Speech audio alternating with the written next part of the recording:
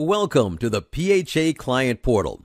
You can access this portal using a smartphone, tablet, laptop, or a computer. If you're using this portal for the first time, select New Users. Click here to register. Enter your first, middle, and last name, your email address, your date of birth, and the last four digits of your social security number. We'll press the back to sign in button if you've already registered. Now, enter the last four digits of your social security number, your date of birth, and your PIN. If you forgot your PIN, select Forgot PIN to reset. Welcome to the Housing Choice Voucher Client Portal. This portal makes it easier to communicate with PHA, submit requests, and keep track of the status of those requests. There are many tasks that you can complete here, and we'll go through them one by one. To see how much rent you pay, you can select Current PHA Rent Addendum. If you'd like to review the reported income, select Income Summary. To update your household income or family composition, select Interim Request. If you want to transfer, select Transfer Request. To contact your representative, select Message Representative. If you have already submitted a request and want to see the status of that request, select Request Status. To review your unit's inspection history, click Inspections. If you have a request for tenancy approval, select RFTA. There are also other resources and other requests available to you. And if you need to complete your recertification, select Recertification Portal. Let's start with family composition. This will provide a list of household members, including the head of household, with their date of birth, age, sex, their role in the household, and the annual income. If you'd like to review what income PHA has for your household members, select Income Summary. This will bring up every household member's name that has income and the income source and the annual income. If you need to update your income, add or remove a household member, select the Interim Request tab. When you select Interim, make sure to read the instructions that are now on the screen. It explains the required documents, how to upload those required documents, and signing your name you will find information on what you are required to report and examples of documents you are required to provide. If you do not have all of the information needed to verify the change you are reporting, your request will not be processed. Now, once your interim request has been processed, you will receive an addendum to the PHA lease agreement. If additional information is needed, the PHA staff will contact you. You can report adding an income, adding a household member, change in income, modifying an unreimbursed expense, or removing a household member. So let's say there is a loss of income. All of the household members with income will be listed. You will select the household member who has a loss of income. You would check this box and need to provide proof that this person no longer receives this income. If you're not sure of which documents you need, click Required Documents for Interim Certification, and the answer is here. Once you finish reading, you can close. You will then select Attach File. Select the device where the file is stored, upload the file, and then click Done. Now, the head of household must sign by selecting Member Signature. The authorization for the release of Information Privacy Act will appear. Please take time to read. This indicates that everything you reported to PHA is accurate. It also indicates that PHA will review this information and will conduct upfront verification along with third party verification. When you finish reading, please select Done. The Capture Signature page comes up. By signing, you are confirming that you submitted information that is true. First, you want to select the Capture Signature button to sign. You then sign in the signature box. You can use your mouse, your finger, or stylus if you have a touchscreen device. Once you sign, click OK. Now click Accept Signature and you are directed to the previous screen to submit your request. Now, click Submit Request. After you submit your request, your confirmation will appear. This confirmation sheet also provides the case number you will refer to when looking into the status of your change, a copy of the instructions you completed, and a copy of your authorization of the release of information that you signed. Please keep a copy for your records. When you click OK, the screen will include your case number.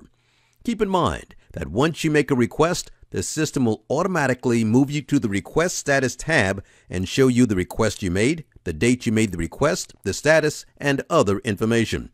You can also make other requests. As an example, if you want to make a request to transfer, select Transfer Request. Transfer request types include eviction, owner termination of tenancy, personal safety and VAWA, reasonable accommodation, and recertification. Participants of the Philadelphia Housing Authority's Housing Choice Voucher Program must receive PHA approval prior to moving to another HCV unit. Participants must complete their request prior to the recertification or lease anniversary date, and this request will not be approved until you have completed your recertification. If you are reporting changes to your income or family composition, you must complete an interim request. If you are requesting to transfer outside of recertification, you must upload supporting documentation. Select the type of transfer. For instance, if your landlord is selling the property or just wants to end the lease at the end of the term, select Owner Termination of Tenancy. Please provide a good contact number. You may request to move if your landlord terminates or does not renew your lease and you have not violated your lease or HCV program requirements. For example, if the landlord or owner decides to sell or renovate the unit.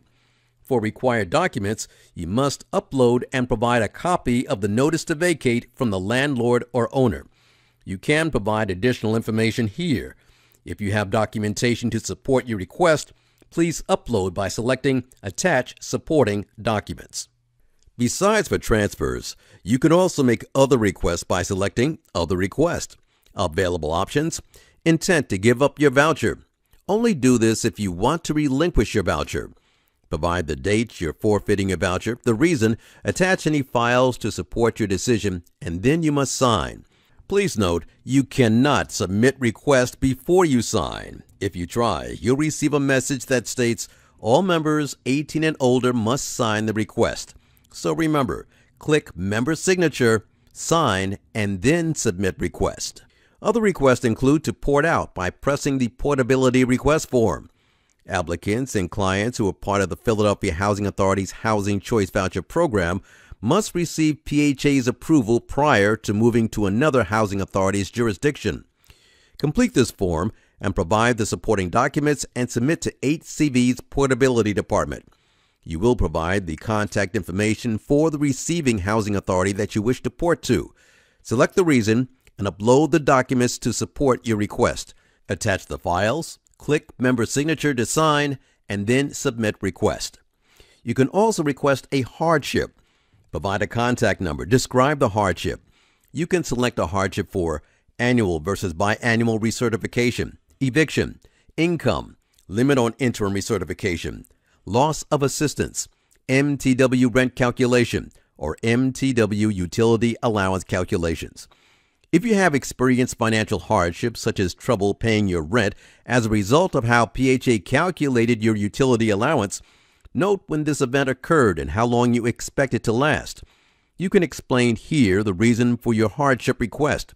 You can attach a file to support your position, then click Member Signature to sign, and then submit request. You are also able to request a 504 reasonable accommodation. PHA is required to verify the disability of individuals claiming to be disabled to determine eligibility for disabled housing.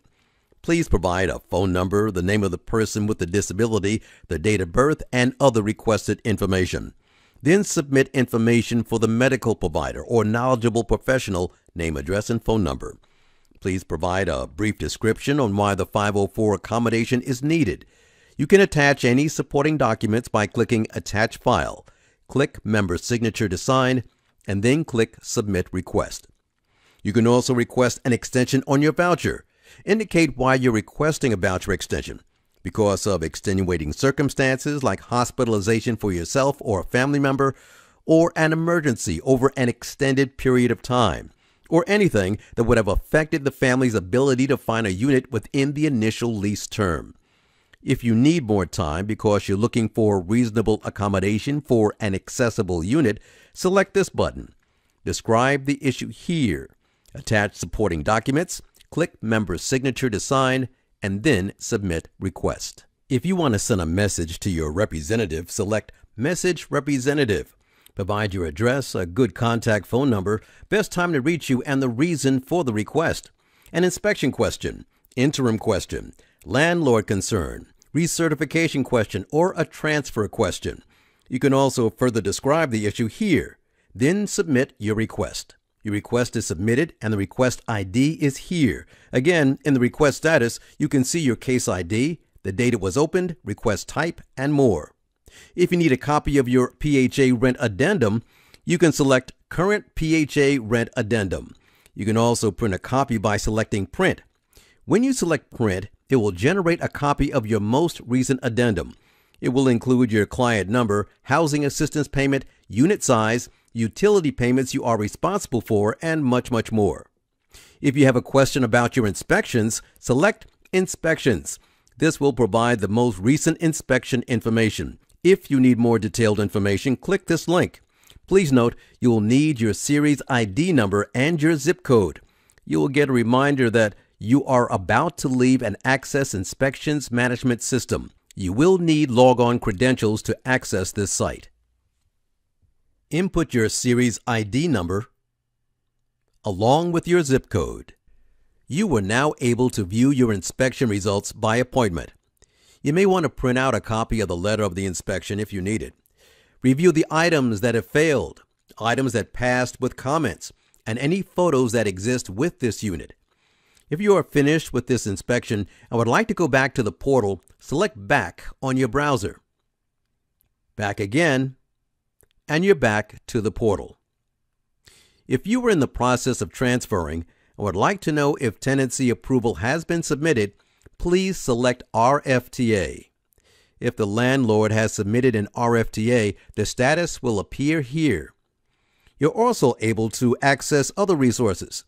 If you're in the process of transferring, you can select phagosection8.com for a listing of available units. This will list all available units on the Go Section 8 website in the city of Philadelphia. You can close this out when finished. If you need proof of income, you can visit the following sites Welfare, Social Security Administration, Child Support, and Unemployment. You may also access our PHA resident services such as Family Self Sufficiency, Clarifi, and Home Ownership. There are other city housing resources, and PHA provides contact information to those resources. If you need legal assistance, you may contact Community Legal Services. If you need the services of a food bank, we provide the links to several food banks in Philadelphia. When you're ready to leave the Client Services portal, select Sign Out and click OK. You can log in anytime, 24 hours a day, to make a request or to check your request. Thank you for using the Philadelphia Housing Authority's Client Services Portal.